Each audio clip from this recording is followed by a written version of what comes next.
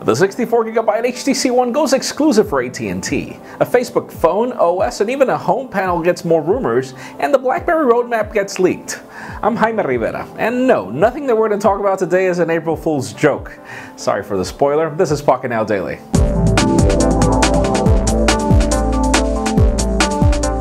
So the rumor started with an HTC phone for Facebook, and then they evolved into a Facebook OS powered on an HTC device.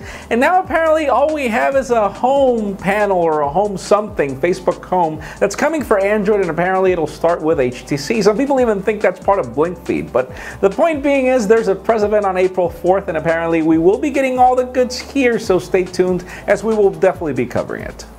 Then in hotter news, we have the BlackBerry roadmap leaked, and yes, we have the Z10 already launched, and then we have the Q10 coming in early Q2, and I'm already confusing you with the Qs there. But then we've got a tablet coming in mid-June, probably August, I don't know. But apparently this tablet will be running BlackBerry 10, and well, it makes sense after the playbook was pretty much a pure dud. But then we've got a U10, which is actually bigger than the Z10, and then we've got an R10, which is bigger than the Q10. Confused already? And then, well, the interesting part is apparently that aside from these devices being bigger than their predecessors, their displays look curved. So again, this roadmap does seem interesting. Just stay tuned for the rumors.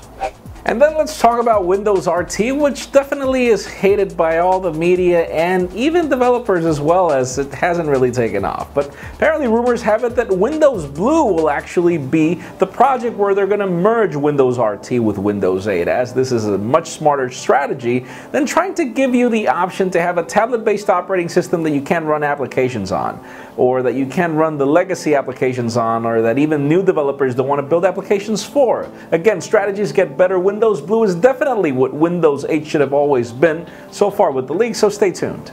But hey, we've got even more good news coming over from Microsoft as an analyst firm has just confirmed that Windows Phone 8 is now officially the third operating system. And I mean by third operating system, it means that even though this is still a single digit figure, Microsoft has actually doubled in their market share.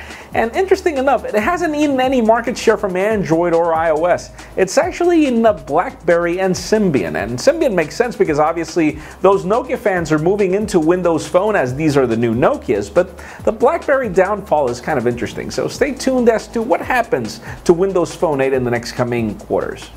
And finally, for the oh no, they didn't news of the day, HTC and AT&T have just confirmed that the HTC One is going to be exclusive to AT&T in the 64GB variant. Meaning that if you were planning to get more storage on your HTC One, which does not have expandable storage, you're pretty much going to have to switch carriers. And obviously this is most likely for the United States as HTC confirmed that was in select areas. So hopefully the unlocked variant will not have this issue. But that leads me to the question of the day. Have you ever or would you ever switch carriers just to get a specific phone?